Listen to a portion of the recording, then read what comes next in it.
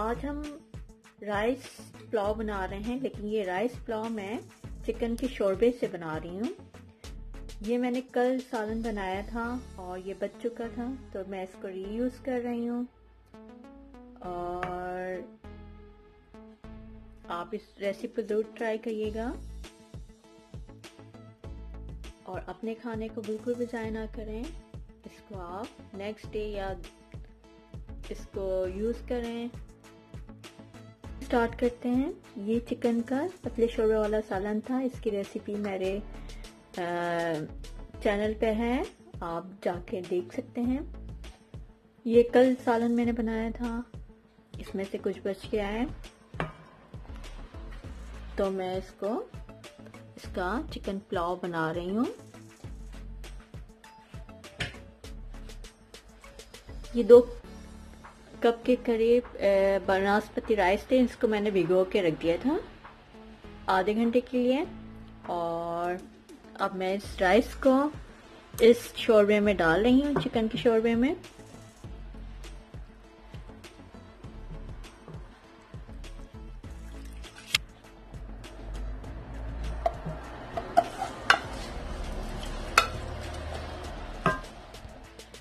इसको मिक्स करेंगे थोड़ा सा।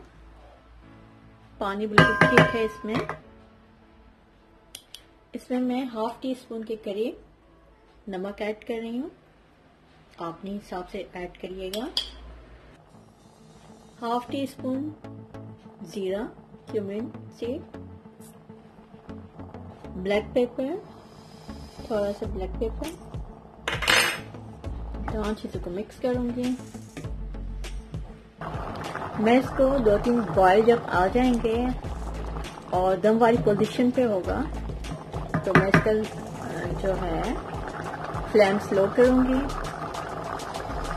आप इस रेसिपी को ज़रूर ट्राई करिएगा और अपने रिस्क को अपने ज़ाय ना होने दें।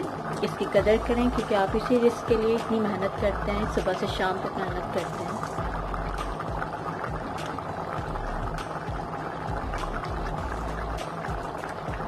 अपने रिस्क को ज़ाय ना होने दें। देखिए, पानी इसका थोड़ा ड्राई हो गया है। जब इस पोजीशन में हो तो मैं इसमें मटर है, वो ऐड कर रही हूँ।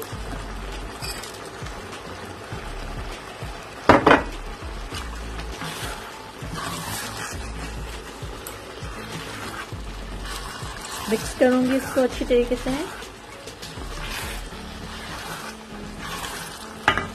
और अब मैं, क्योंकि इसका पानी थोड़ा ड्राई हो गया है, अब मैं इसको दम दे रही हूँ। तकरीबन 10 मिनट के लिए इसको दम पे रख रही हूँ। अच्छे से मैं इसको 10 मिनट के लिए दम पे रखूँगी और फिर इसको हम सर्व करेंगे।